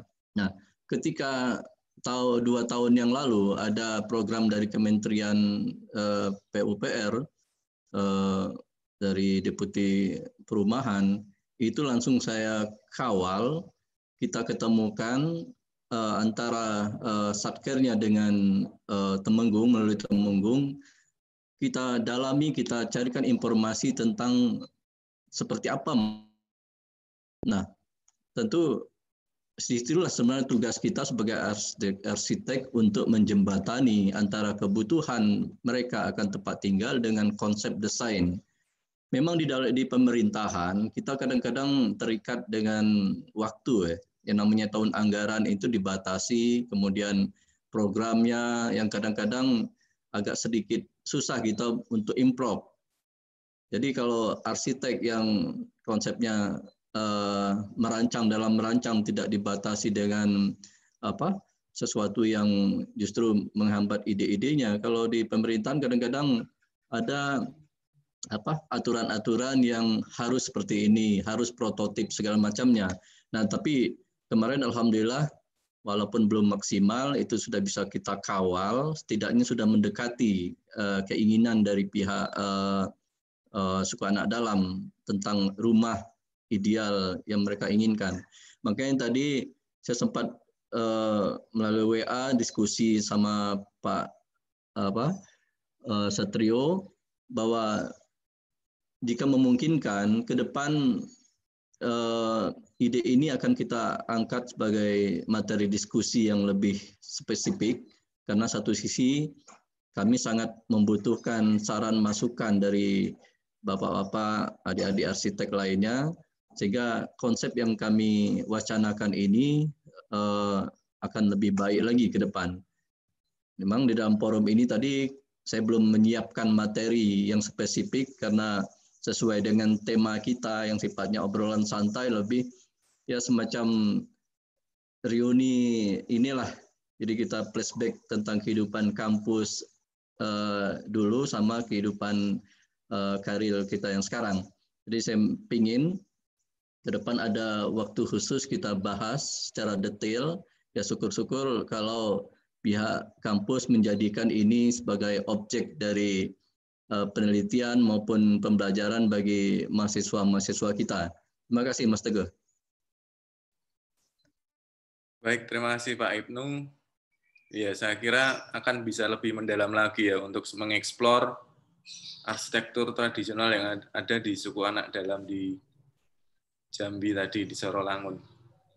pasti dengan data-data yang lebih menarik lagi. Oh ya, saya ingatkan untuk semuanya saja, silakan mengisi presensi yang ada di komen chat yang sudah di-share oleh Bu Nina, biar tercatat dan mungkin ada ada sertifikatnya ya. Nanti bisa dijelaskan. Uh, untuk pertanyaan Pak Satrio sebelum kayaknya Mas Noval nggak muncul lagi ini. Kita tunggu Mas Noval. Nah nih pertanyaan Pak Satrio, apakah arsitektur tradisional Jambi sudah dieksplor untuk didokumentasikan, dilestarikan, dan dikembangkan arsitekturnya di Jambi? Sehingga Jambi memiliki kekuatan lokalitasnya. Gitu. Saya kira ini penting banget. Pak Ibnu bisa menanggapi sebentar saja dari pertanyaan Pak Satrio ini. Silakan. Baik, baik terima kasih Mas Gredi. Memang untuk eksplor secara maksimal ini belum, karena itulah sebenarnya saya sangat tertarik eh, mengikuti kegiatan-kegiatan diskusi seperti ini. Saya berharap ke depan eh, wacana-wacana diskusi mengangkat tema-tema eh, mengangkat kembali arsitektur tradisional itu kita coba adakan Berapa waktu lalu memang kami di IAI ya, Mas Teguh juga hadir waktu itu membicarakan arsitektur tradisional dan pada prinsipnya kalau arsitektur tradisional rumpun Melayu, Riau, Palembang, Jambi, Lampung itu banyak kemiripan kemiripannya. Hanya saja saya lebih eh, tertarik ke depan untuk mengangkat tema tentang arsitektur untuk suku anak dalam karena ini eh, kita ingin bahwa arsitektur itu untuk semua masyarakat, tidak terkecuali meskipun mereka dari suku terbelakang. Mungkin itu, Mas Teguh. Terima kasih. Terima kasih, Pak Ibnu. Dan waktu saya tinggal satu menit untuk membawa bapak-bapak narasumber ini tadi untuk berbicara. Pak Mas Gredi. Ya. Mas Gredi bisa nggak dua menit saja? satu menit. Satu menit, saya tawar satu menit. Iya, nggak ini eh, maaf, saya sangat menarik eh, tadi tentang suku anak dalam dan juga tentang apa arsitek tadi ya tradisional. Eh, mohon maaf ini Pak Dr. Satrio. Jadi dalam pendekatan sosiologi itu ada yang disebut dengan kultural kognitif yang kadang memang bahkan komunitasnya masyarakat yang bersangkutan pun tidak menyadari bahwa mereka sebetulnya punya pandangan kultural kognitif.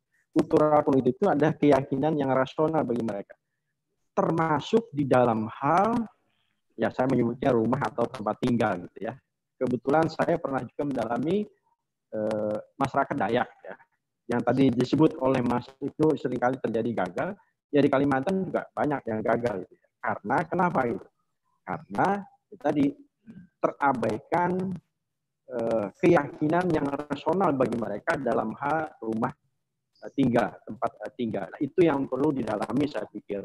Jadi kenapa masyarakat Jawa misalnya lebih nyaman dengan eh, pendopo misalnya atau dengan limasan, itu di balik itu ada keyakinan yang rasional bagi mereka. Nah, itu saja mungkin uh, sumbangan saya. Terima kasih uh, waktunya Mas. Terima kasih Pak Dani. Uh, ada pesan nanti kita sebelum selesai itu Mas Noval. Mas Noval mau mengclosing dulu karena waktu kita juga sudah terbatas, sudah mau selesai. Ya maaf ini sambungan di ini saya nggak bagus ini Mas, nggak tahu dari tadi mati-mati terus.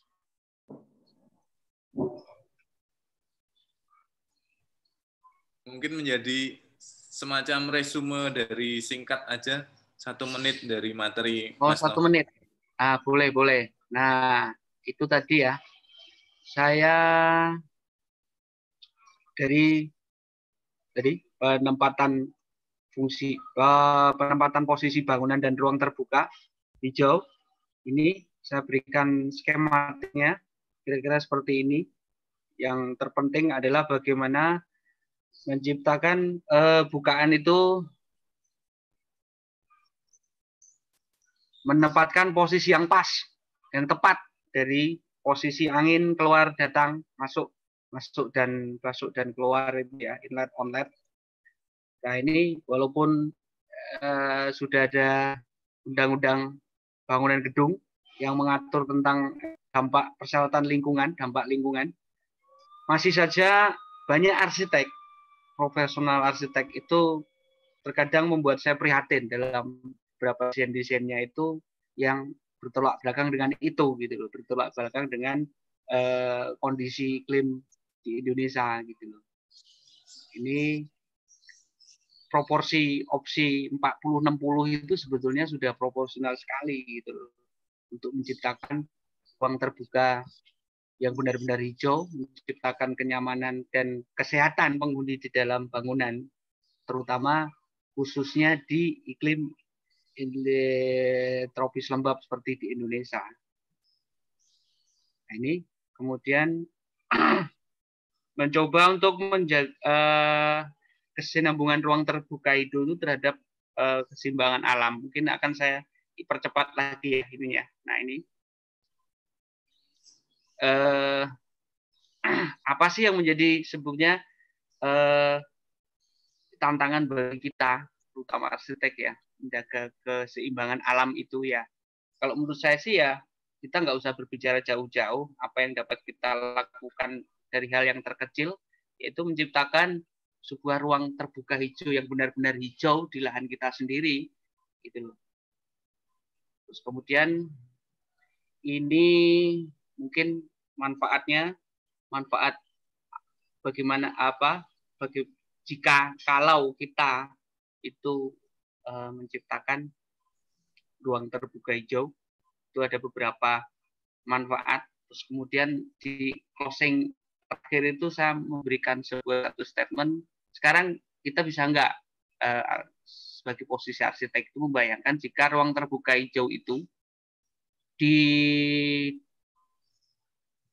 tempat kita tinggal itu semakin terkikis oleh munculnya bangunan-bangunan rakusnya bangunan-bangunan baru yang tidak terkendali apakah yang terfikir di benak kita sekarang. Terus kemudian ini adalah beberapa bangunan yang saya dokumentasikan selama saya menjadi seorang arsitek profesional di Jakarta, kantor di studio saya yang di Jakarta itu saya mendokumentasikan ini, ini sangat membuat saya prihatin tentunya.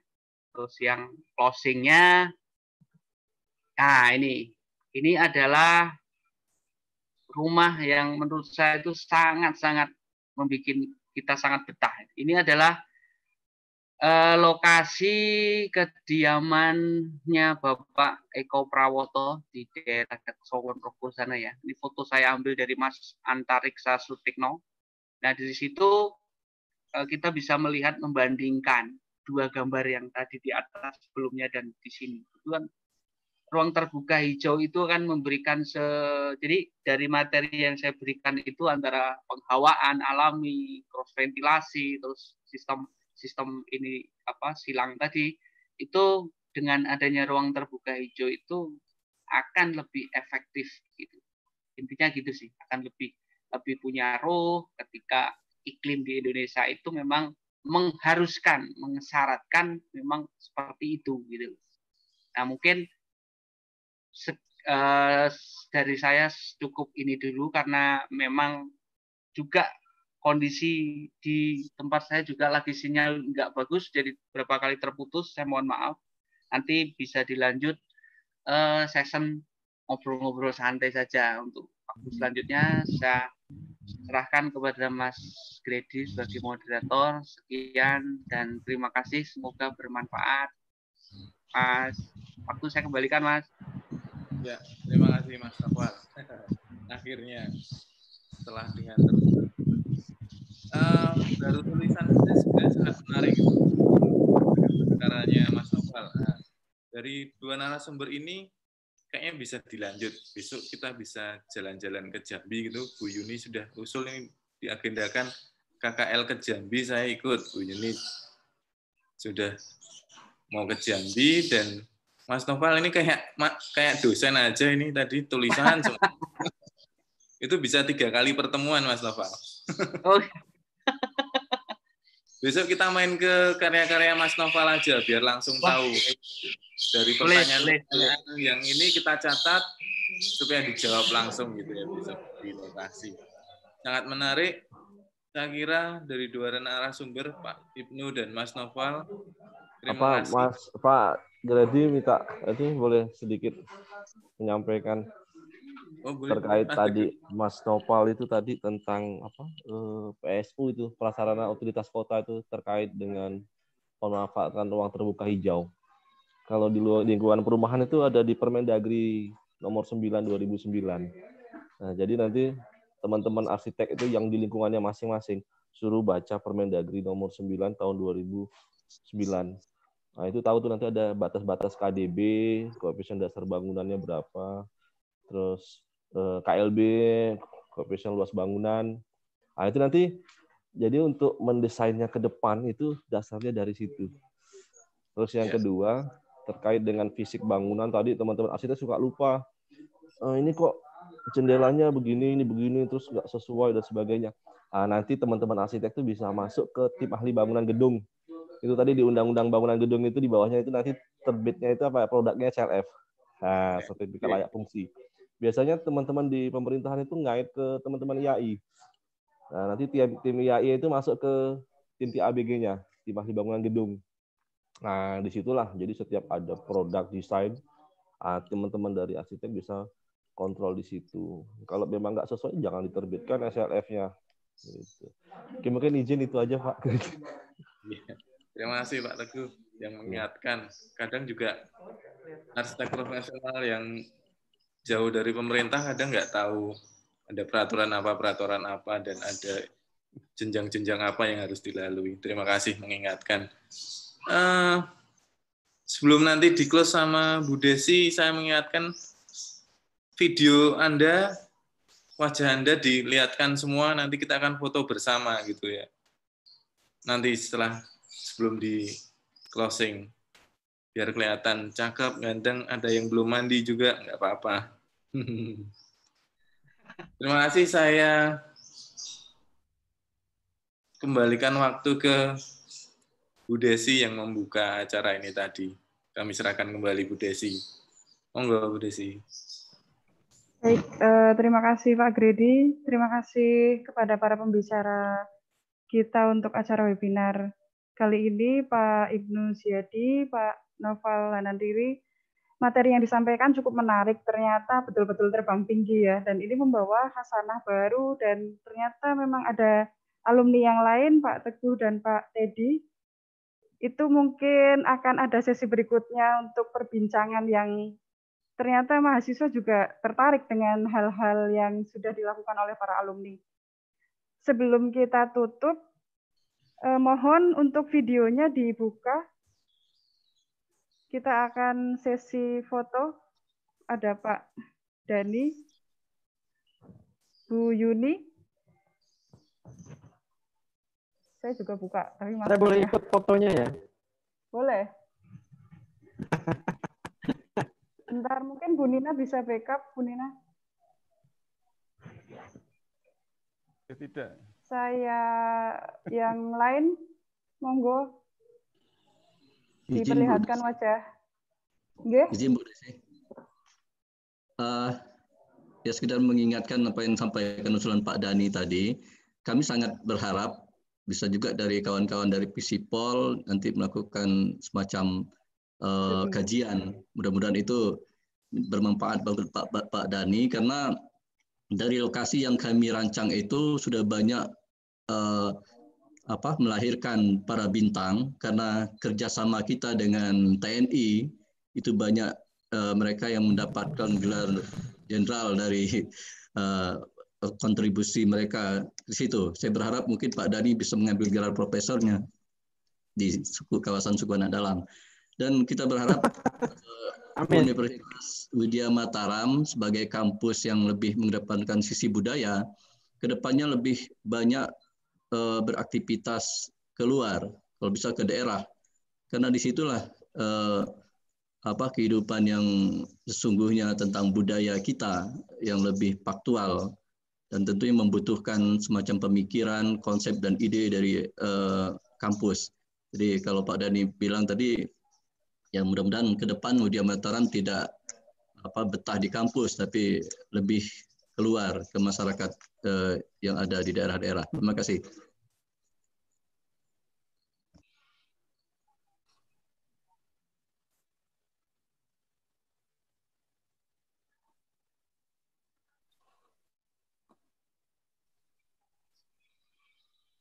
Terima kasih Bu Desi, silakan. Terima kasih kembali Pak Ibnu Ziyadi. Jadi mungkin kita bisa KKL ya. Apakah diterima kami dari UWM ke Jambi suatu saat nanti jika kondisi sudah memungkinkan? Sangat senang hati dan kami siap memfasilitasi, menyuguhkan hasil-hasil kerja karya-karya alumni Ujian Mataram yang ada di Jambi. Ada beberapa objek yang sudah kita garap di samping kawasan suku anak dalam, juga kita mengenal ikon Gentala Aras Jambi. Kemudian ada beberapa ruang terbuka hijau yang tadi sempat disinggung oleh Mas Teguh, itu sudah kita inisiasi untuk di daerah Jambi. Terima kasih. Bu.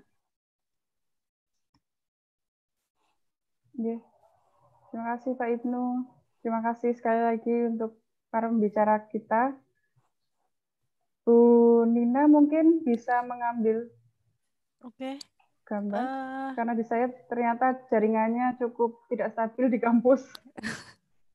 Di Abadi mungkin Bu. J uh, ini ada beberapa yang belum terlihat mukanya ini. Langsung aja ya biar segera selesai. Satu dua tiga.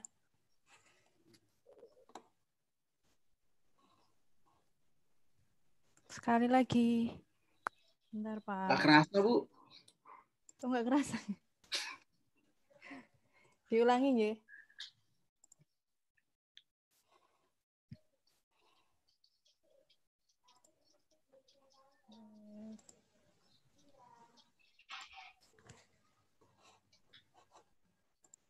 Satu, dua, tiga. Ya, sudah. Terima kasih Bapak-bapak, Ibu-ibu. Terima kasih. Tepuk tangan untuk semuanya. Terima kasih. Kapan balik ke kampus lagi, Bu? Sampai juga. Terima kasih. Ini sudah di kampus saya.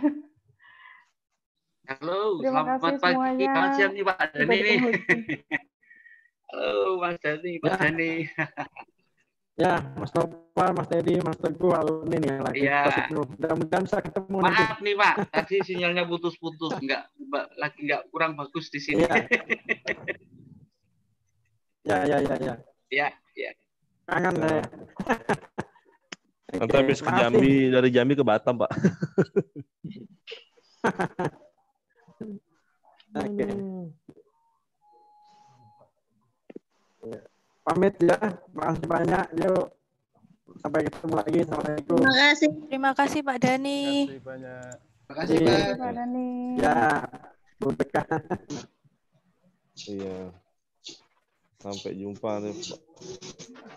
Iya, Pak Satrio. Penutup ya. Lagu penutup eh, Teguh nih. Ini Pak Ya, Satrio, salam, Ya. selamat siang. Terima Sehat kasih ya Pak? Noval, Pak Ibnu. Pak Ibnu. Nanti kapan-kapan kita sambung lagi. Sambung lagi, saya juga siap. masih punya PR ini sama Pak Satrio ini dulu. Yang di Batam itu, Pak, belum. Gara-gara Oke, ya, COVID ya. ketunda. Nanti kita diskusikan lagi. Teguh. Iya, Pak. Ha, nanti kita diskusi lah. Sekalian Ini lagu lapangan. penutupnya ya.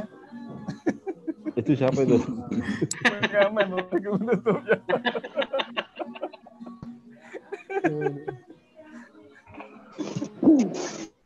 Oke, saya ya.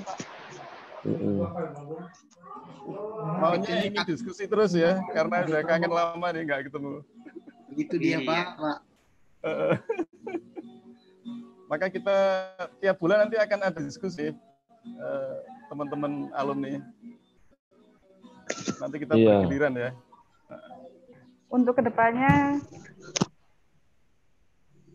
ditunggu diskusi-diskusi yang lain ya untuk rekan-rekan mahasiswa dan bapak ibu yang lain juga. yang ingin bergabung? Itu Bu